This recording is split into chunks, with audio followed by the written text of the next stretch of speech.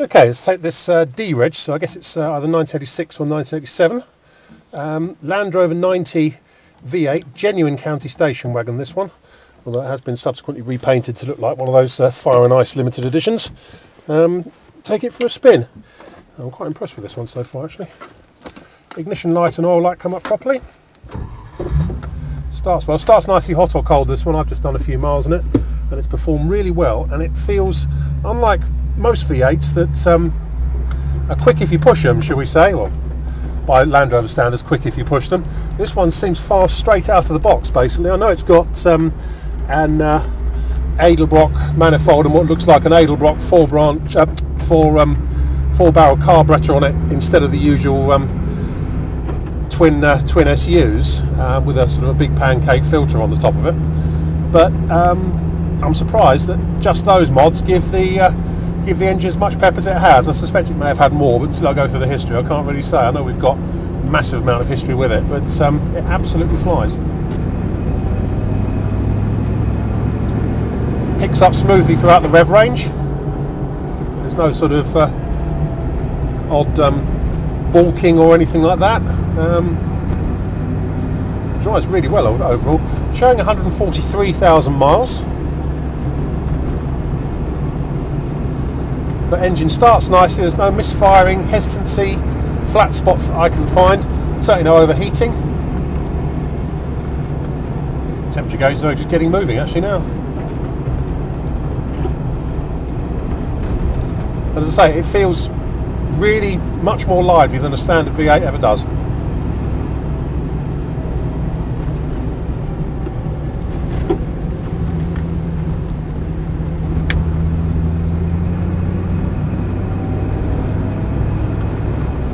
Pulling away seamlessly there in fourth, into fifth.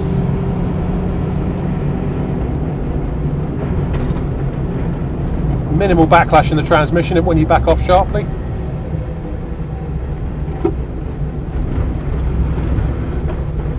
Just a very slight clunk, probably from the uh, the output shafts on these on this gearbox.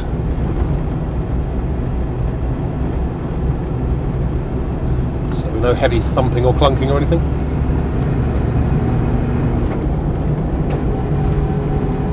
It just drives really nicely. It steers properly. It's not wandering all over the road. Be nice that chap gave us some room. Um, brakes nicely. It just does everything nicely, basically. Struggling to fault it one wonder. It's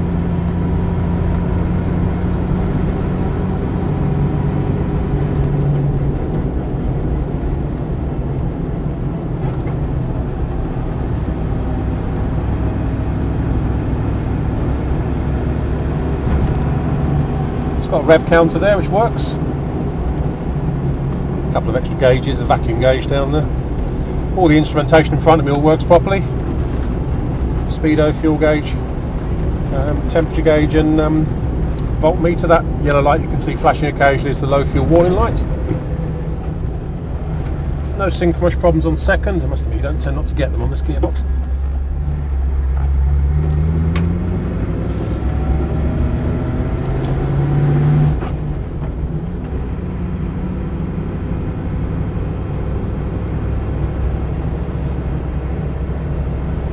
But no, it drives really, really nice. It's not prone to the occasional fluffiness that the um, the standard setup has at low speeds.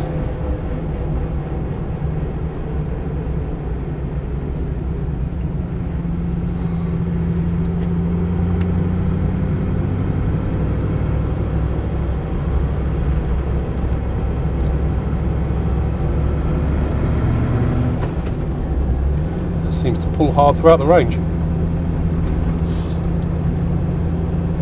As I say, I don't know if it's just the uh, the carbon manifold setup that's different, but um, I'd be amazed if uh, just that makes the difference it has.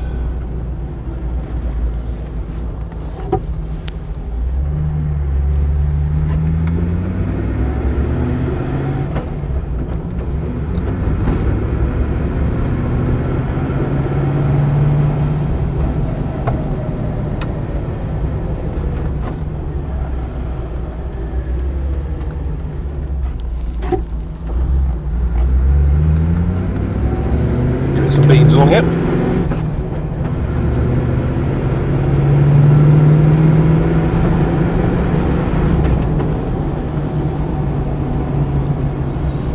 The pedestrians.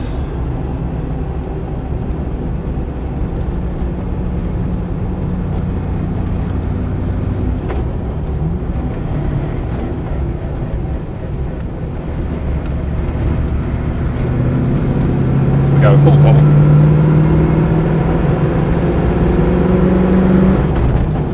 Sounds great. I can't go too fast because there's a car in front of me. But overall, it's splendid. I can't really fault it to drive it. It's absolutely lovely. That's about it, I think. My name's Simon. You can reach me on 0771 906 9353 or in the office on 0118 946 3352 or you can go to our website which is www.motodrome.co.uk for any further info.